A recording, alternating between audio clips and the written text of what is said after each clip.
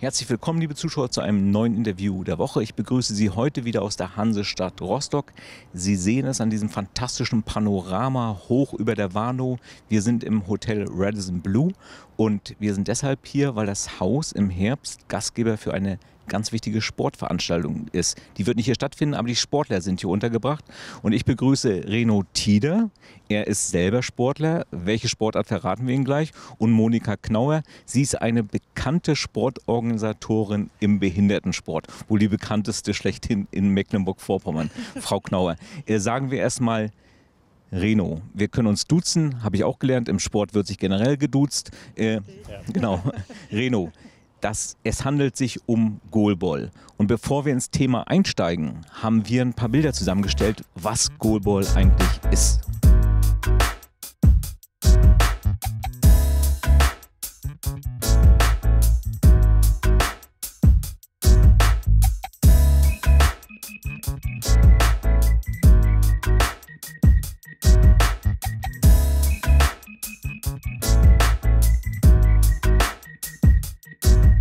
Also Reno, wir haben es gesehen, Goalball ist eine Sportart, die noch nicht sehr populär ist. Ihr wollt diese Sportart populärer machen und habt dazu eine internationale Veranstaltung hier nach Rostock geholt. Nämlich was genau? Ja, wir werden im äh, Herbst, im Oktober, vom 8. bis zum 13. Oktober, ähm, 20 Top-Teams aus ganz Europa hier in Rostock haben äh, zur Europameisterschaft im Goalball. Ähm, das heißt, die zehn besten Teams äh, der Männer und die zehn besten Teams der Frauen werden hier um den Europameistertitel kämpfen. Und dazu haben wir uns ähm, ja, die wahrscheinlich wichtigsten Sportstätten in unserer Stadt ausgewählt und mit der Stadthalle und der Osbar Arena zwei richtig tolle Sportstätten, wo auch richtig die Post abgeben kann. Wir sind mit den deutschen Männern und Frauen dabei. Mal schauen, wie weit wir es bringen. Wo steht Rostock da? Wo steht Deutschland da? Es geht ja, wie gesagt, um die deutsche Mannschaft. Und du selber spielst im deutschen Team. Ja, also wir sind 2017 Vize-Europameister geworden, sind da gegen äh, Litauen gescheitert. Ähm, ein Jahr später war es dann äh, Vize-Weltmeister, äh, da sind wir in Brasilien gescheitert, aber zweimal Finale, was natürlich ein absoluter Erfolg für uns ist. Aber klar, wenn man zweimal im Finale war, dann träumt man auch vom dritten Finale. Und wenn man es dann schaffen sollte, dann träumt man natürlich auch mal davon, äh, das Ding dann auch zu holen.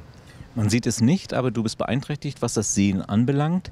Äh, trotzdem kriegt ihr ja nochmal, wir haben es ja im Beitrag gesehen, nochmal alle schwarze äh, sozusagen Kappen auf, damit keiner garantiert was sehen. Es, kann, es können auch Menschen mitspielen, die durchaus sehen können. Ja, genau. Also bei uns in Rostock, wir betreiben das eigentlich ganze, das Wort ist ja in aller Munde inklusiv, sage ich mal. Also wir haben 50 Prozent Normalsehen, 50 Prozent mit Seheinschränkungen, so wie ich zum Beispiel.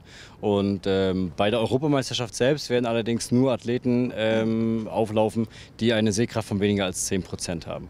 Ähm, genau. Monika, eine solche Veranstaltung muss organisatorisch vorbereitet und betreut werden. Wann kamt ihr auf den Gedanken, euch äh, zu bewerben?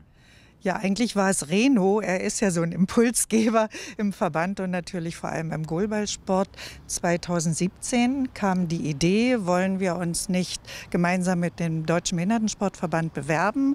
Und äh, ja, da ist für mich auch noch mal meiner langjährigen Tätigkeit im Verband eine besondere Herausforderung wäre, eine internationale Meisterschaft auszurichten, war ich natürlich auch gleich dabei und äh, auch unser Verband.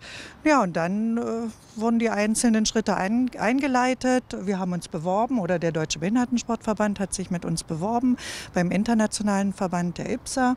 Dann gab es einen Lokaltermin im Dezember 2017. Genau. Ne?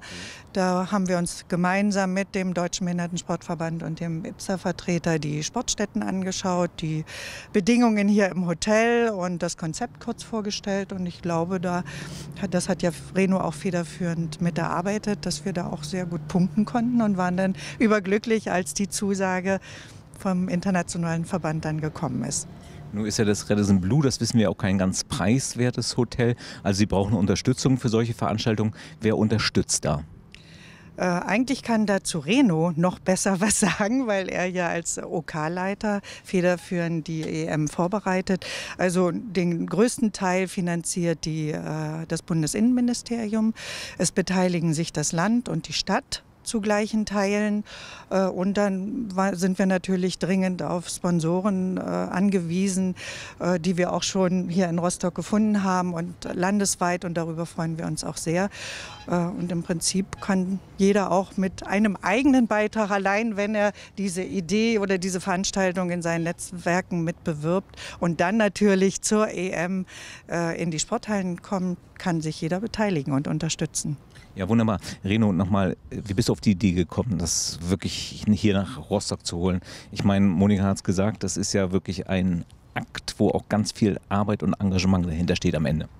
Das stimmt. Ähm, ich muss dazu sagen, ich bin großer Patriot unseres Landes Mecklenburg äh, und ich liebe diese Stadt. Vorpommern bitte dazu sagen? Auf alle Fälle natürlich. Also für mich ist, äh, ist so mein Synonym. Ja. Also klar, wenn ich von Mecklenburg rede, dann rede ich immer von Mecklenburg-Vorpommern. Ähm, das ist so. Aber ähm, ich war neun Jahre in Hessen, äh, habe da ähm, studiert, habe da äh, Sport gemacht und ähm, von Jahr zu Jahr wurde die Sehnsucht immer größer. Hier wieder zurück äh, ans Meer, an, in, in die Stadt.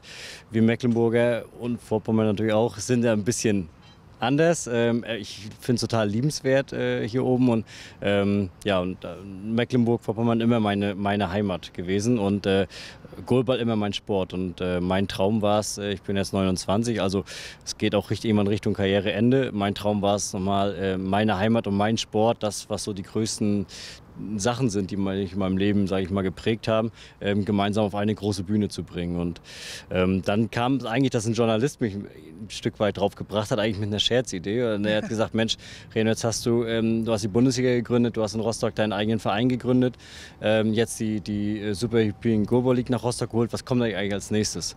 Und da habe ich kurz überlegt, habe zu ihm so scherzhaft gesagt, Europameisterschaft. Und das hat zwei Monate gedauert und dann hat mich dieser Gedanke aber nicht mehr losgelassen, bis ich dann äh, zu Monika gegangen bin und habe gesagt, Mensch du, wir müssen mal reden. und so kam das Ganze dann ins Rollen. Ja. Ja. Bei Monika hast du offene Ohren äh, gefunden. Wenn man diese Veranstaltung nochmal einordnet, was den Behindertensport in Mecklenburg-Vorpommern äh, anbelangt, gibt es ähnliche Sportarten, die wirklich jetzt so ein Renommee erobert haben wie der Goalball? Also in, wenn, wenn man an Veranstaltungen denkt, dann eigentlich nicht. Äh, wobei wir in den Schwerpunktsportarten, die wir haben, ähm, Fechten, Rollstuhlfechten, Leichtathletik, äh, Schwimmen, äh, wir auch schon darüber nachdenken, natürlich auch internationale Wettkämpfe hierher zu holen, besonders hier nach Rostock, weil hier auch die Standorte der Sportarten Schwimmen und Rollstuhlfechten sind.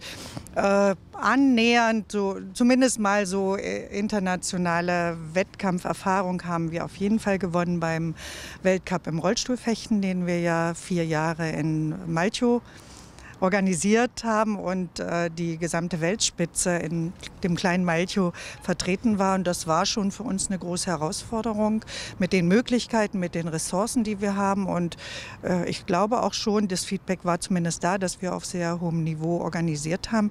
Aber wenn ich jetzt so begleitend die Organisation dieser Europameisterschaft mitbekomme, mein, kann ich nur meinen allergrößten Respekt zollen vor der Organisation. Das ist doch noch mal eine ganz andere Hausnummer und es werden noch mal ganz andere Anforderungen an die Organisation gestellt. Und daher freue ich mich, dass äh, das Org-Team oder OK-Team unter der Leitung von Reno so, so engagiert und mit so vielen Ideen unterwegs ist. Und äh, ich bin fest davon überzeugt, das wird eine tolle Veranstaltung, die auch beste Werbung für den Handicap-Sport in Mecklenburg-Vorpommern sein wird und auch für die Leistungsfähigkeit des Sports hier in der Stadt und in Mecklenburg-Vorpommern. Jetzt nochmal natürlich organisatorische Sachen. Äh, wann geht's los? Wie lange geht's? Äh, wann können die Zuschauer wirklich Goalball hier erleben? Also ähm, am 5. Oktober werden alle Mannschaften anreisen. Dann hat jede Mannschaft auch nochmal eine Möglichkeit, in jeder Halle zu trainieren. Am 8. Oktober, das sollte sich dann schon mal jeder in den Terminkalender ankreuzen, äh, wird es eine große Eröffnungsfeier geben ähm, und mit äh, anschließend den Auftaktspielen der zwei deutschen Mannschaften. Erst die deutschen Männer, danach die deutschen Frauen. Das ist in der Stadthalle. Und dann haben wir Gruppenphasentage, K.O.-Phase und dann am 13. steigt dann ja, das ganz große Finale, da werden dann die Medaillen ähm, ausgespielt und da wird auch ähm, das letzte Ticket für Tokio ähm, vergeben. Wir Männer haben das große Glück, dass wir als erste deutsche Mannschaft schon für Tokio qualifiziert sind. Unsere Frauen die müssen noch, die wollen noch und ähm, ja, da hoffen wir natürlich, dass wir sie an dem 13.10. dann auch in der Halle sehen werden und das dann hoffentlich nicht nur auf der Tribüne, sondern unten auf dem Feld, so wie wir dann hoffentlich auch. Ja, liebe Zuschauer, Sie haben es gehört. Äh, Goalball Europameisterschaften hier in der Hansestadt Rostock und im ganzen Land haben Sie natürlich die Möglichkeit, nach Rostock zu kommen und diese Meisterschaften zu erleben. Äh, wir verabschieden uns und bringen noch einige Impressionen vom Goalball hier aus Rostock. Bis zum nächsten Mal.